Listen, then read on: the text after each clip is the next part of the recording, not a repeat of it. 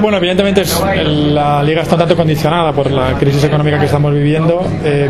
pero bueno, yo creo que por extraer una lectura positiva, es cierto que se han marchado jugadores, es cierto que da la impresión de que el, el nivel ha podido bajar un peldaño, pero es evidente que también ha igualado, sobre todo ciertas zonas de la clasificación, da la impresión de que Atlético Madrid y Barcelona van a seguir siendo los que van a pelear por el título, entre ellos habrá igualdad también, pero luego hay un grueso de 8 o 9 equipos, desde el, el tercero al, al undécimo, al, al duodécimo, donde va a haber mucha igualdad y creo que es lo que tenemos que, que rescatar, que es una liga a lo mejor que no tiene tantos nombres brillantes, que se nos han ido alguna que otra estrella, pero que también es cierto que va a ser una competición que ojalá sea muy muy competida y, y podamos disfrutarlos porque también las competiciones crecen de esa igualdad.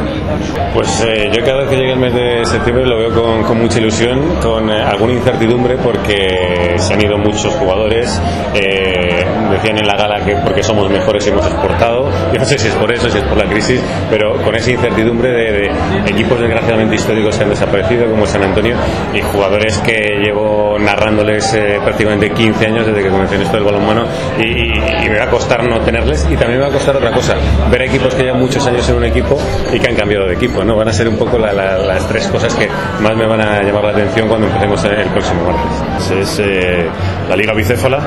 eh, el Barcelona, actual vigente campeón de la Liga, junto con el Atlético de Madrid, yo creo que van a disputar todos los, eh, todos los títulos nacionales y siempre quedará un hueco para esa clase media que cada temporada, por culpa de la crisis, es menor. Valladolid, además, sabéis que han reducido drásticamente sus, sus eh, presupuestos y se han tenido que ir sus siete iniciales a, otro- a otros equipos o a otros países. Entonces, resumiendo, yo creo que va a ser una cosa de, de- equipo del Barça y, de- y del Atlético de Madrid. Y bueno, lo único que espero es que sea un nivel competitivo, que puedan incluso dar alguna sorpresa en algún equipo,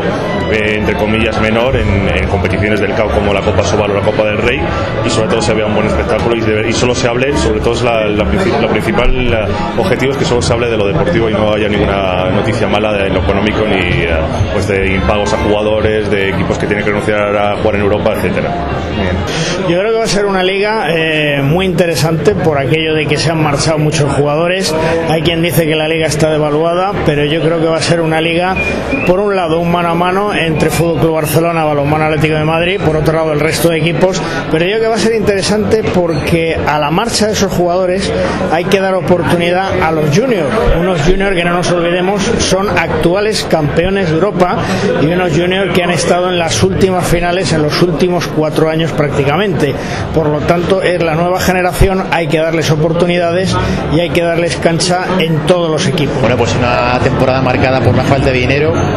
Yo creo que donde hay que fijarse es un poco en esos jóvenes jugadores que están llegando, donde puede aferrarse un poco la visión de, de, ¿no? Esos chavales del equipo junior de la selección española, campeones de Europa, ver cómo va evolucionando, gente que está por ahí y el duelo entre Barcelona y Madrid volverá a ser importante.